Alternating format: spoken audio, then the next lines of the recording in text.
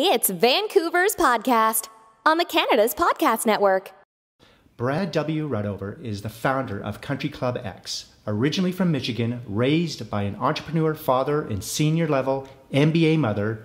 He earned a degree in small business management at Ferris State University. He then moved to Whistler a few months after graduation in late 1999 to be a snowboard bum.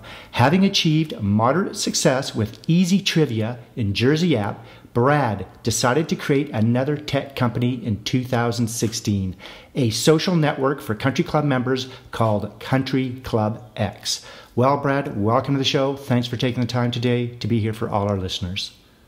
Good morning, Robert, and thank you very much for having me on the show. It's a pleasure. Okay, well, tell us a little bit more about yourself. We know you're from Michigan, but give us the details on your current business. Um, so just a little bit about me. I am a serial entrepreneur. Um, so even in college, uh, I had a small computer company that you know I would fix computers. Um, not unlike uh, you know Dell, um, but I wasn't nearly as big. Um, and so you know, as you mentioned, I had a couple different um, ventures. Uh, you know, a few years ago. And so now Country Club X is kind of my latest project, I call it.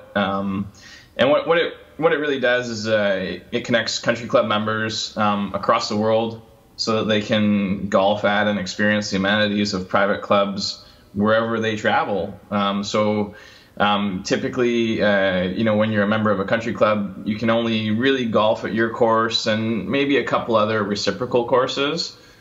Whereas, uh, you know, I, I noticed that there was kind of a problem in the marketplace that didn't allow members to travel and play private courses, and this is exactly the problem that Country Club X solves. Perfect. Okay, now, did you need financing to start your company, and how do you currently make money in your business now? Um, so the, the, financing came out of my own pocket, um, and so uh, you know, luckily I, I, have a tech background, so I was able to really keep my costs um, quite low, um, so I can de- essentially develop most of the technology myself. Um, and so you know, with regards to earn generating revenue, uh, we're at the point where um, you know it, it's growing. So we're, we're just under 100 members right now. Um, and so we want to just make sure that everything's going straightforward, um, you know, and, and, we don't want to really confuse our, our members by running any ads or anything like that. So there, there's no revenue at this point. Um, but you know what? Later on, as we go forward, I'm sure, uh, you know, we'll, we'll figure out the revenue model. Do your passion, the money will follow. Well, and and it's kind of like uh, very similar to the Social Network. Uh, I'm not sure if you've ever seen that movie, but yeah, um, you know, within that movie, uh, Mark Zuckerberg and his partner Eduardo Saverin. You know, uh, Eduardo says to Mark, you know, look, we need to monetize the, the website. And Mark replies and says, well, it's cool, and we don't really know what cool is. And so I guess that's kind of where we're at with Country Club X is that all of the feedback that I've had across the golf community, everyone says it's very cool. And so I really don't want to do anything to compromise that factor. So let's just let it run and see what happens. Okay, now what is the long term vision and what will your company look like in the future? Do you see the company expanding into other areas and where beyond Vancouver, BC, or even Canada? Yes, sir.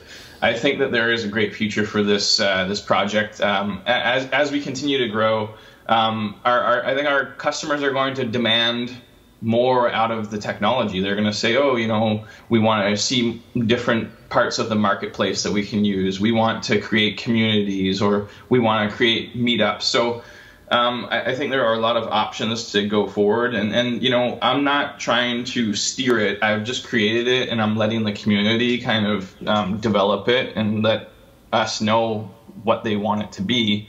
Um, and then, you know, from there, I think it's it's pretty clear that there's other similar type of sports or, or, or leisure that you know this might apply to, such as tennis or um, pickleball or basketball. I mean, like you can think of any kind of uh, you know social sport where you need people to participate. Um, so you know, certainly this might be the first iteration, um, and then we may expand into uh, other markets as well. Okay, well, we've learned a little bit about Country Club X and we learned a little bit about you. So we want to talk about doing business in Vancouver. What are the biggest benefits for you and being an entrepreneur here in Vancouver, BC? I want you to give us some of the good points about starting a company here, but I also want you to give us some of the tough things or challenges for our listeners so they can keep an eye out for them.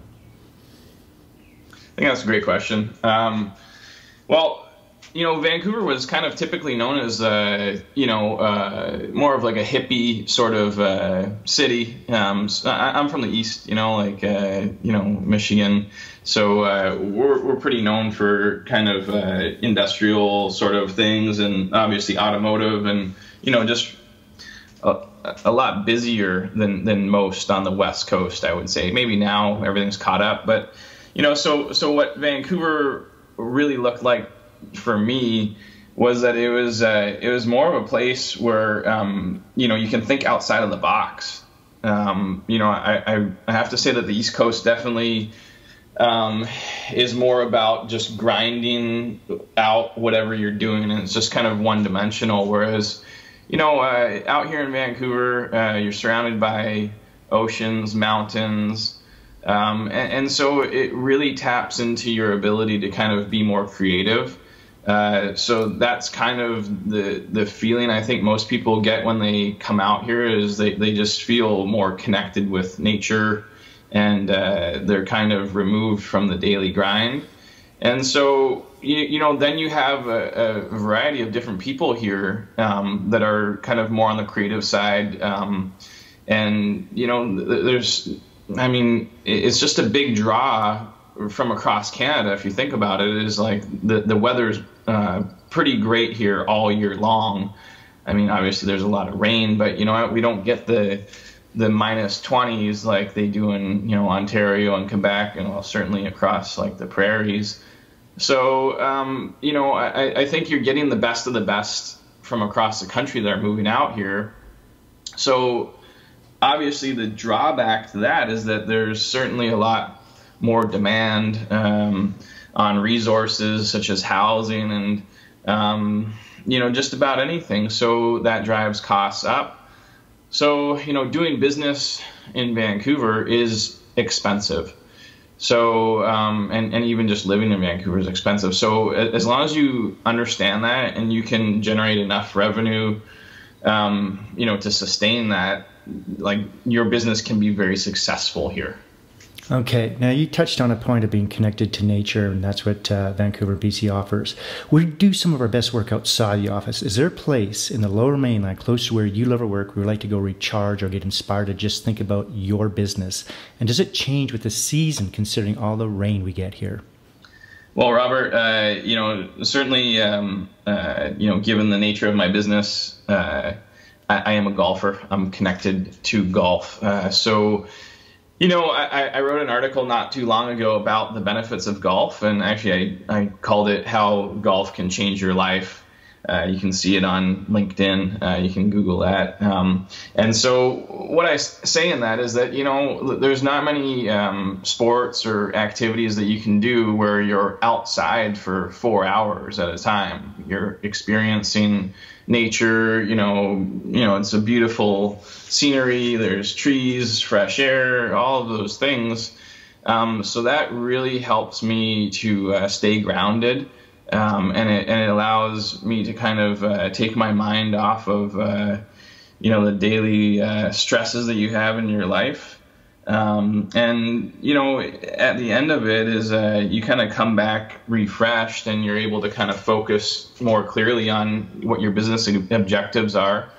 Um, so I, I think it, it, really is beneficial um, to you know take up the game of golf.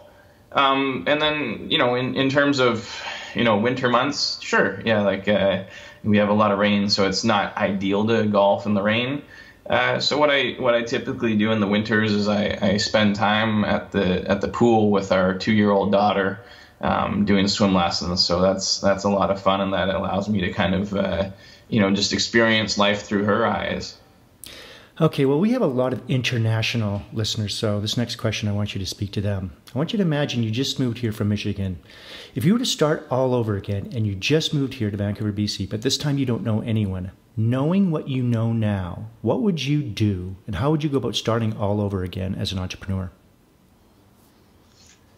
It's an interesting question. Um, I, I think that, like any opportunity that you can to be social, um, so there, there's a lot of different, you know, um, different social activities that you can participate in. Um, I think there's Vancouver Meetup or something like that. Um, for me, uh, I would say that a that a country club is is by far the best place where you can do networking with very successful people that can you know then assist you with your business and kind of lead you down a different path that maybe you didn't know of.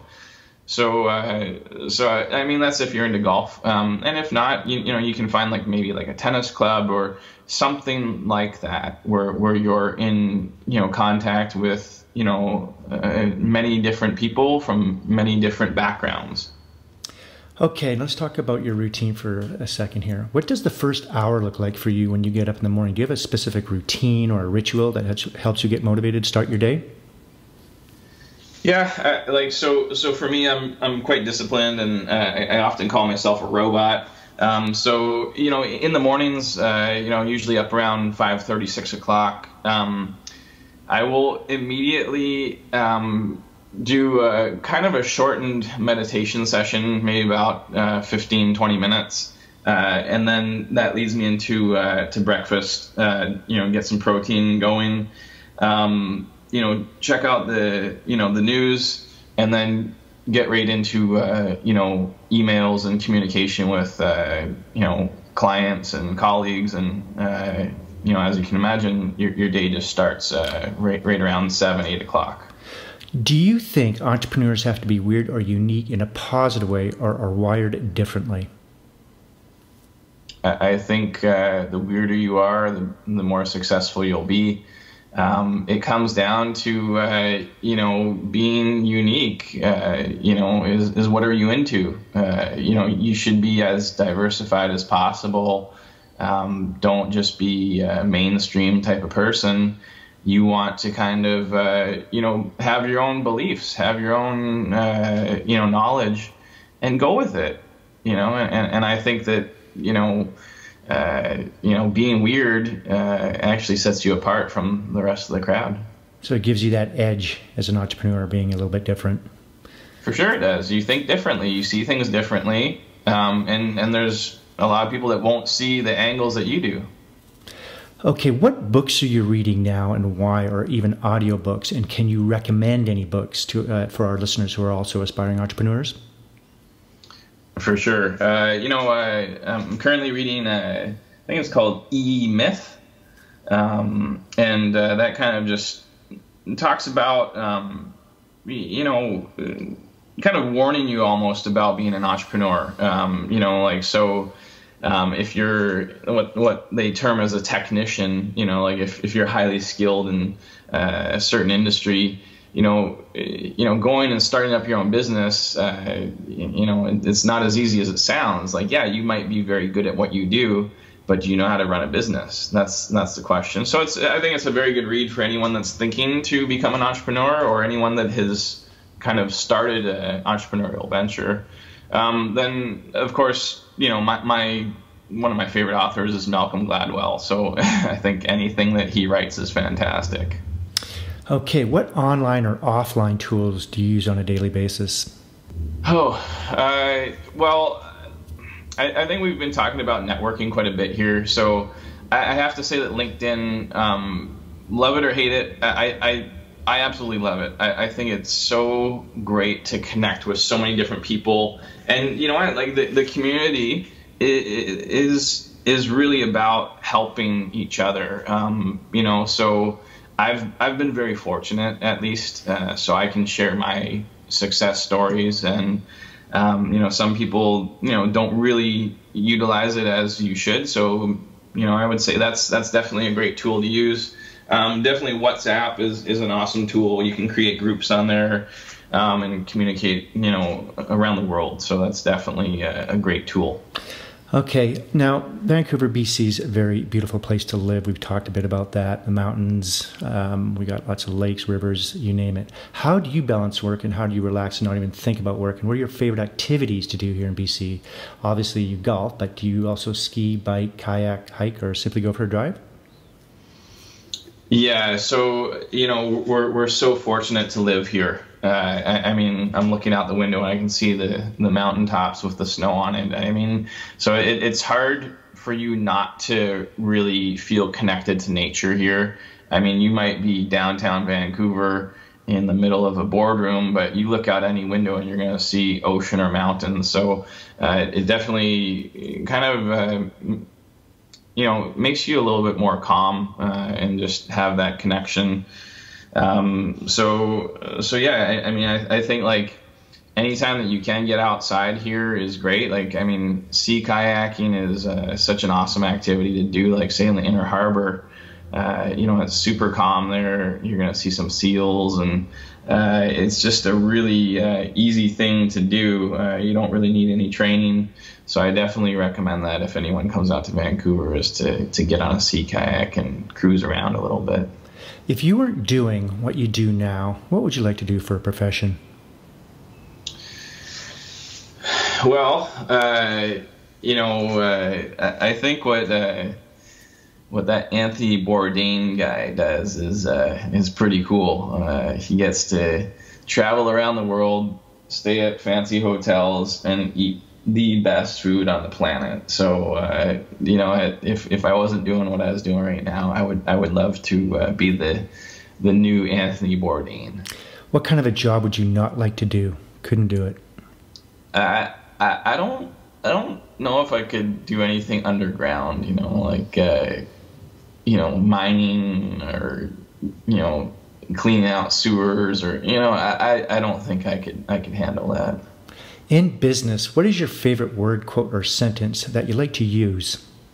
Uh, I, I, think, uh, you know, synergy is definitely um, a word that I've always kind of used, you know, um, and empowerment. Uh, those are kind of two key words for me. I, I like to, uh, you know, I, I like to, you know, have full autonomy. I like to give full autonomy to anyone that's working with me um, because ultimately you're, you're you're working with someone that you trust and you know that they're going to do whatever is in the best interest of the business. So i think that's that's a key word is autonomy. What is your least favorite word or sentence you do not like to hear? Micromanagement. I think that um, you know how business is going nowadays um, it, it's it, it, it's it's very kind of strange that um, you know uh, you know systems like Salesforce and uh, all, all, of those type of tools, um, they're they're they're kind of now trying to like um, essentially you know download everyone's information, uh, you know, so that you know you don't have that personal touch, and and I think that. Uh, those systems are going to fail us, um, and because ultimately, you know, every every single business transaction is to do with people, and so, uh, if you don't have that personal touch, uh, you know, your business is doomed for sure. If you had to pick one or two words to describe yourself, what would it be and why? Two words. I would say positive and, uh, you know, energetic. Okay. What keeps you up at night, if anything?